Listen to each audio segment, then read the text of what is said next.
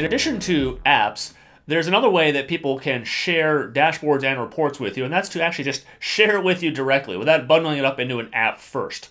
Okay, so here I am on my homepage. If I were to go to apps, I would see all my different apps where I have bundled up uh, dashboards and reports, but it's possible for somebody to share a dashboard or report with me directly without bundling it up. To see all of those, I'm going to head to the Shared With Me section.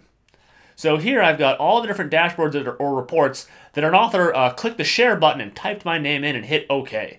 So for instance, here I've got this inventory report. I can't see this in a app because it hasn't been bundled up into one, but because it was shared with me directly, I could go ahead and click on the inventory report and see the inventory report, right? The behavior, uh, it looks very similar to a regular old report. Uh, you don't have sort of this blue navigation bar on the side because there's nothing really to navigate to. It's just the one report. And if I want to head back to where I can see all the stuff that's shared with me, I can click right here now, right now, uh, this is only I've only got one person sharing stuff with me. Uh, but if I had multiple people right here, I could click on each individual person and see all the stuff that maybe uh, Joe shared with me, or maybe all the stuff that Mary shared with me, etc., uh, etc.